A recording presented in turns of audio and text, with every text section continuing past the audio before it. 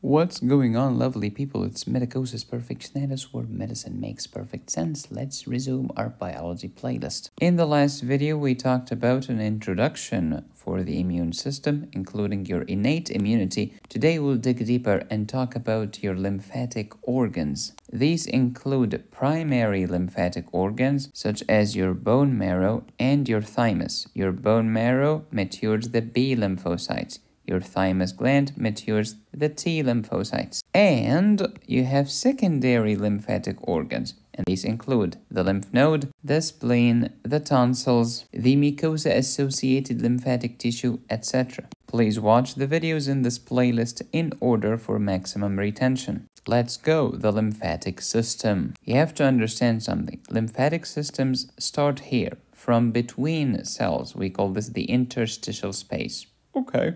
It's part of the extracellular fluid because it's outside the cell. Okay, so we are in between cells, but outside the cell. Got it. And then what? You take your fluid from the area around the cells. Okay.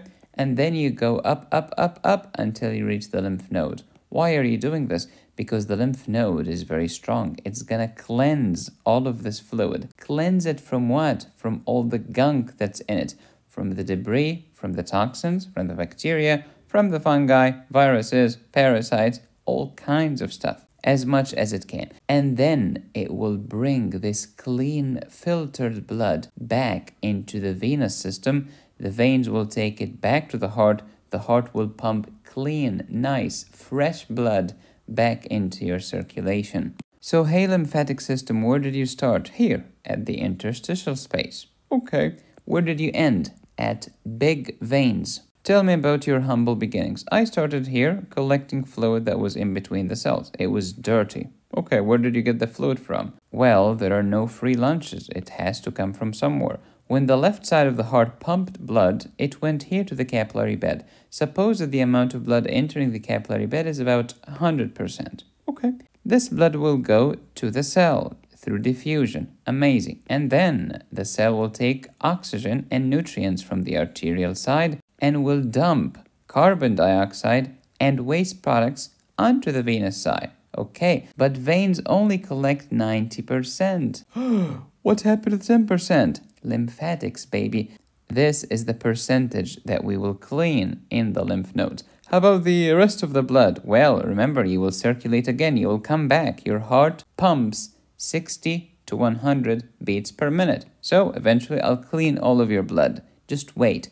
Good things happen to those who wait. My humble beginnings started as lymph capillaries or lymphatic plexus, and then when something is going to, it's called F. When something is going from, it's called if. If I'm going to the lymph node, it's called the afferent lymphatic vessel. If I'm leaving the lymph node away from the lymph node, it's efferent lymphatic vessel.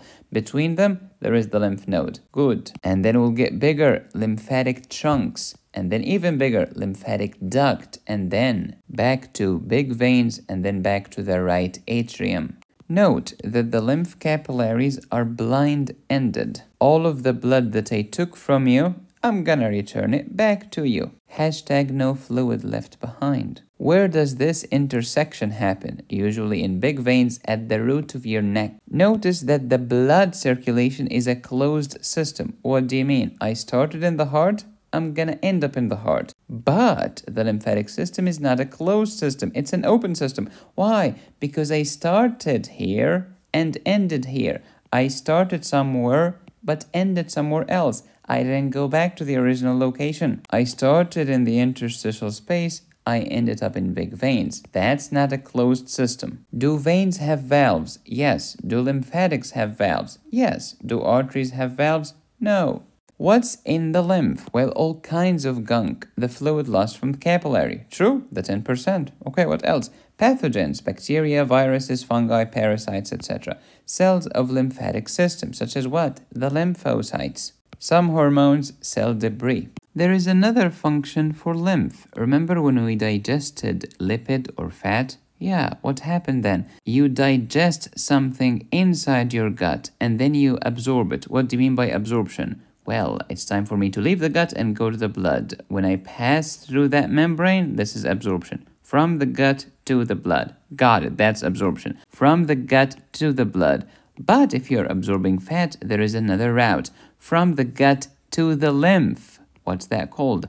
Lacteal, which means milk. Because it's full of fat, it appears like milk. You package those teeny tiny fat droplets into packages, like Amazon packages? Yeah, but we call them chylomicrons. And then you load the packages onto the truck. Okay, and then the truck will take you back to your house. But hey, Medicosis, why do we have to do all of this story? Why not just dump all of the lipids into the blood circulation without going to the lymphatic route? I'll tell you why. Because the lymphatic route is very important to cleanse and detoxify all of the gunk that you have just eaten. If we have a serial killer in the community, what should we do? Well, we gotta protect ourselves. So, remove him from the community. How do you do this? Send him to the lymph nodes, the interrogation rooms. Ooh. What do they contain? Police officers, hashtag lymphocytes. Acting on what? Pieces of melena, pathogens. And then do what? Destroy them with facts and logic so that they do not go back to the community. Terrible analogy, but it works. Lymph versus chyle. Lymph is just the ordinary stuff. You find this in most lymphatic vessels. Chyle is special for the gut, the lacteals. Lymph is clear and colorless. Chyle is full of fat. It's opaque. It's milky. That's why you call them lacteals from milky. Now, if you become a doctor or a lab scientist or a pathologist and you see the blood of a patient who suffers from hyperlipidemia or hypertriglyceridemia and you look at their blood in the test tube, you'll find it very milky. That's why we call the packages chylomicrons. That's why there are medical conditions known as chylomicronemia. Chylomicrons and emia is the blood. Do you find lymphatics everywhere? Yeah, with some exceptions. For example, your brain doesn't need lymphatics because the brain has its own cerebrospinal fluid or CSF. What are my lymphoid organs? Organs that produce lymphocytes, and they include thymus, spleen, red bone marrow, tonsils, lymphoid nodules in the wall of the gut, and appendix. The bone marrow and the thymus are the primary lymphatic organs. The rest is called the secondary lymphatic organs. Why? Because bone marrow is for B lymphocytes, thymus is for T lymphocyte maturation. How do we propel the lymph movement, skeletal muscle contraction, and pulses? You have superficial lymphatics and deep lymphatics. Superficial are like veins, so they follow veins because veins are superficial, but deep follow the arteries. Eventually, all of them will drain into deep lymphatic vessels. What's the name of the fluid of the systemic circulatory system? Blood. What's the name of the fluid of your lymphatic system? Um, lymph. True, which literally means the goddess of fresh water, Lympha, because she is so clear and colorless. As the Hodge twins might say, she clean, man. We started in the interstitial fluid. We ended up in two big veins. We move by peristalsis. What if we have problems in the lymph vessels? Oh, they can leak. Leak what? Leak lymph. Into where? Where did they start? Oh, in the interstitial space? Yeah, and what do you call this? Swelling, edema. And when the edema is made of lymph, what do you call it? Lymphedema. Let's go back to the analogy of the police officers. Who made them? God. Who's God here? The bone marrow. Who trained them? The police academy. Who's the police academy in your body? You have two academies. An academy for the B lymphocytes, the bone marrow, and another academy for the T lymphocytes, the thymus. Okay, then what's their site of occupation? Where the flip do they work? Oh, every day they come and hang here by the police academy. What's the police academy? The lymph node, the spleen, the tonsil, the appendix, etc. And then who are these police officers? These are your lymphocytes. Oh, I get it.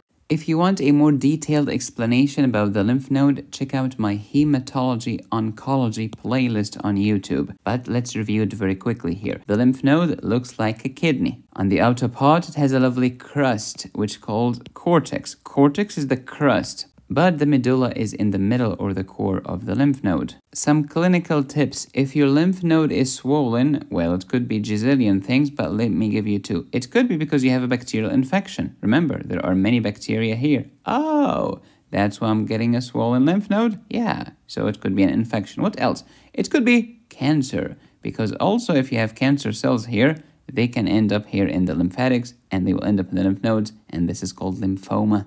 Do police officers learn something inside the police station? Of course, it's their everyday operation. What do you mean by everyday operation? Antigen presentation. Because when the lymphocyte or the police officer was young like this, we call him a naive lymphocyte. And then when they learn how to catch a predator, they become mature lymphocytes. What happened between here and here? Well, antigen was presented to them until they were trained to recognize the antigen. Where does that happen? In the lymph node. The lymph node is a gland, and just like any gland, it has a stroma and a parenchyma. The stroma is the bed, just like the chassis of the car. On top of that framework, you will lay down the actual flesh of the node, and this is the parenchyma. The chassis is not a big deal. You can find many different brands of cars that share the same chassis. Same thing here. I can find many different glands in your body that share very, very similar stroma. However, What's different is the parenchyma. The parenchyma of the Mercedes is not the same as the Lexus or the Toyota or God help you Chevrolet. They are different in their parenchyma. That's the actual bulk, the actual substance of the lymph node or any gland. Who are the police officers again? Lymphocytes. And they are made in the bone marrow. They start as naive and then they mature. When the B lymphocyte matures, it becomes plasma cells and it secretes antibodies such as IgG, IgM, IgA, IgE, IgD. So, who is the creator, the bone marrow? Who is the trainer? Oh, we learn in the academy. This is where we mature and grow up. If I'm B lymphocyte, bone marrow. If I'm T lymphocyte,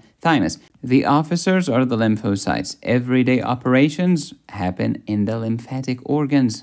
Again, we are doing a very quick review. The original explanation is in my hematology playlist. Cortex and then paracortex of the lymph node, followed by medullary cord and medullary sinus. Who lives in the cortex? B lymphocytes. Who lives in the paracortex? T lymphocytes. Who lives in the medullary cords? Plasma cells. And last, who is at the medullary sinuses? Macrophages. Cortex paracortex, medullary cords, medullary sinuses, and then you leave the lymph node via the efferent lymphatic vessels. Inside the cortex, you have follicles, like this one. They start as naive, we call them primary follicles, and then when the freaking officer matures, they change into secondary follicles. So, not only the police officer matures, the entire police stations is becoming more robust secondary follicle. Here is the follicle in the cortex, followed by paracortex, then medullary cords, then medullary sinuses. Who lives in the cortex? B lymphocytes. In the paracortex, T lymphocytes. In the medullary cords, plasma cells. Medullary sinuses is for macrophages. Forget the lymph node. Let's talk about another secondary lymphatic organ, the spleen. The spleen is made of two big sections. We have the red pulp and the white pulp. The red pulp is just blood. The white pulp has many cells, including the lymphocytes. Where do I find my B lymphocytes? Well, do you remember the lymph node? Yeah. Where was the B lymphocyte? It was in the follicle of the cortex. Same thing here. They are in the follicles of the spleen. Okay. How about the T lymphocytes? Let's go back to the lymph node. The T lymphocyte was in the paracortex. The T is always in the P. So the T lymphocyte here is in the periarterial lymphatic sheath or PALS. The T is always in the P. Lymph nodes are all over your body and they tend to cluster into big groups eventually. And this is very important for cancer diagnosis. For example, breast cancer metastasizes to axillary lymph nodes in your armpit. All of these lymph nodes will eventually end up in efferent lymphatic vessels and then lymphatic trunks and then lymphatic ducts. We have two big ducts, right lymphatic duct and thoracic duct. The most important one is the thoracic duct. It basically drains most of your body except the upper right quadrant, which is for the right lymphatic duct. Alas, everything is going to end up into big veins, which is going to end up into the right atrium of your heart. We talked about innate immunity in the last video. Remember, macrophages, innate immunity, natural killer cells, innate immunity. But the lymphocytes are trained. They are, quote, experts, unquote. So the lymphocytes are part of your adaptive immunity acquired immunity because police officers have to acquire certain training. No one is born an officer, despite what they say in the movies. B lymphocytes started as naive. They were made in the bone marrow, they matured in the bone marrow, and then they went to work in the secondary lymphatic organs, such as the spleen, lymph nodes, etc. When they matured, they became plasma cells after they recognized the antigen and grew up. And then what? And then the plasma cells will secrete antibodies. What are the functions of antibodies? Well, antibodies are bodies against the antigen. That's why we called it antigen. An antigen is something that generates an antibody. This is foreign to you. This is your defense mechanism. So what are the functions of antibodies? They neutralize the antigen, they neutralize the toxin. They make the bacteria tasty so that the macrophage can enjoy herself while eating the bacteria. They cause agglutination of antigen-antibody complex so that it becomes easier for your immune system to clean it up. They activate natural killer cells. Antigen-antibody complex also activates the complement system.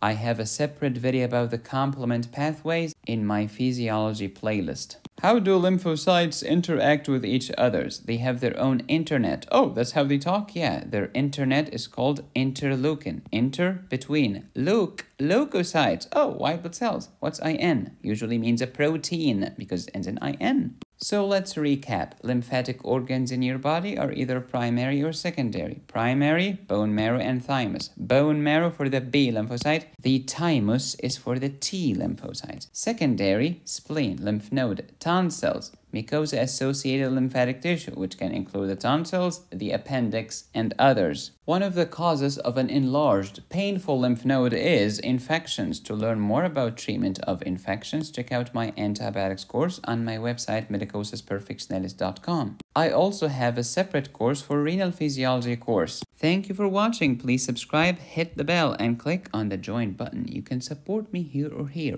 Go to my website to download my courses. Be safe, stay happy, study hard. This is Medicosis Perfectionalis, where medicine makes perfect sense.